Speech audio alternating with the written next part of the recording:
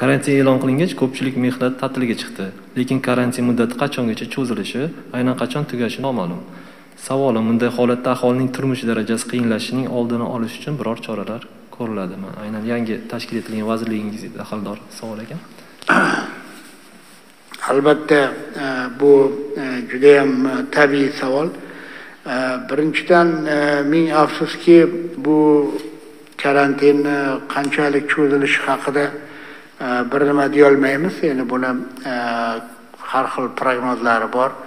Э, endi lekin umuman bu karantindan chiqish mani fikrimcha bir bosqichma bosqich bo'ladi. Mana hali aytganimdek sanoatni ayrimlari qurilish ayrim obyektlar qayerda o'sha sanitariya talablarini bajarish imkoniyati bo'ladigan bo'lsa Э, bular bir chiqaveradi qishloq xo'jaligida to'g'risini aytganda karantinga bir qanaqadir haligi ham yo'q. Э, Ehtiyoj ham juda yam kam deylik yo'q demaylik va endi u tabiiy hozir ekmasak э, uni o'n besh kundan keyin ekishni foydasi ham yo'q.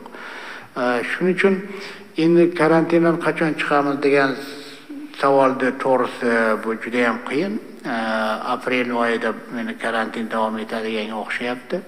Э, va odamlarimiz э, to'g'ri aytyapsiz o'n beshinchi martdan buyon demakki ular uylarida o'tirishibdi. Endi bu savolni tagida nima turganini yaxshi tushunyapman. Ya'ni misol e, bir qator rivojlangan e, mamlakatlar va ayrim qo'shni mamlakatlarimizda mana shu o'zini e, ishini yo'qotgan odamlarga bir ma'lum bir to'lovlarni beryapti. Bu demak e, grant deb aytamizmi buni nomini transfer deb aytamizmi buni farqi yo'q. Shu odamlarga e, pul berilyapti. Albatta bu tushunarli holat chunki odamlar uyida ayniqsa xususiy sektorda ishlaydiganlar endi byudjet sektorda ishlaydiganlar hali temur amjonovich aytdilar ular oyligini olib turishibdi. Lekin xususiy sektorda ishlaganlar albatta oylik olmayapti. Balki kimdir to'layotgandir no asosan e, bizni ma'lumotlarimizga ko'ra olmayapti.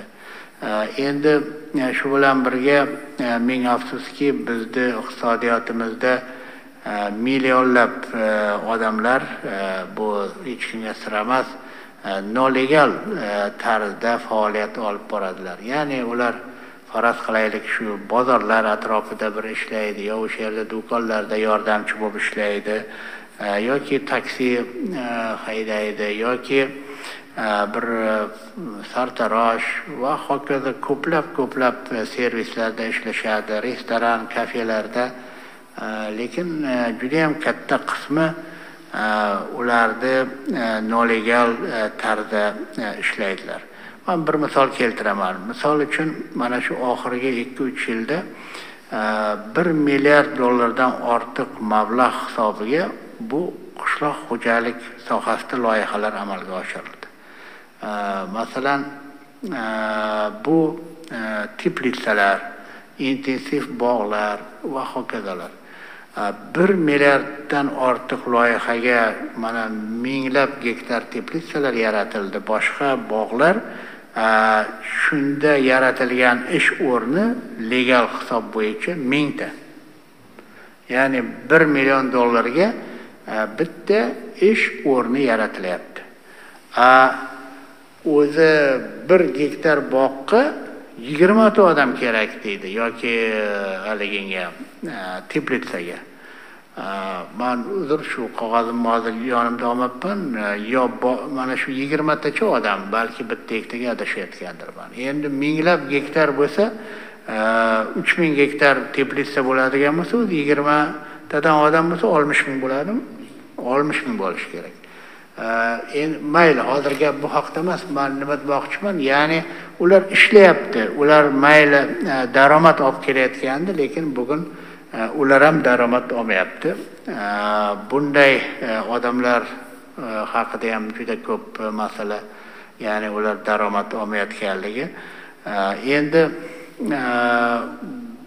shu ma'noda bir odamlarga bir qandaydir yordam ko'rsatish haqida agar gapiradigan bo'lsak Э, biz shuni aytishimiz kerakki mana shu э, karantin e'lon qilingan birinchi kunlardan boshlaboq muhtaram prezidentimiz э, mana shu hukumatga topshiriq berganlar doim shu odamlarni daromadini ta'minlash odamlarni kayfiyati haqida o'ylash ularni birlamchi ehtiyojlarini qondirish haqida e, doimo e, bizga topshiriqlar berib kelyaptilar.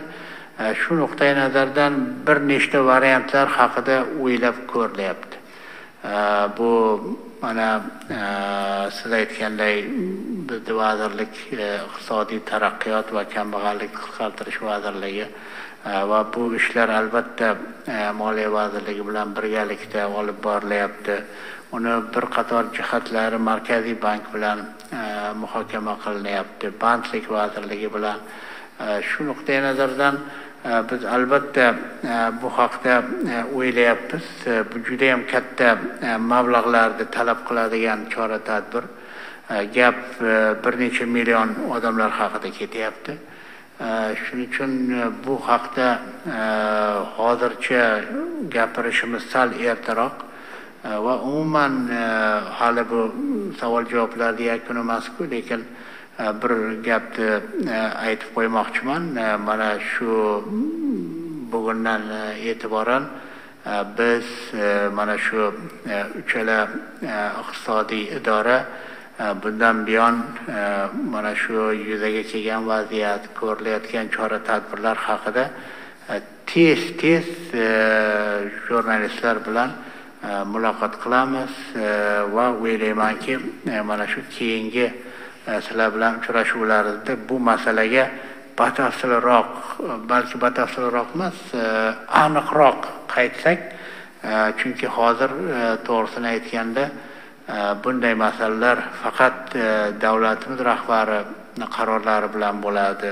Ularni topshiriqlari bilan bo'ladi. Shuning uchun hozir bu masala haqida gapirishimiz ozgina ertaroq e, bu haqda bizda bir aniq e, pozitsiya paydo bo'lgandan e, biz darrov hurmatli jurnalistlarga bu haqda axborot beramiz.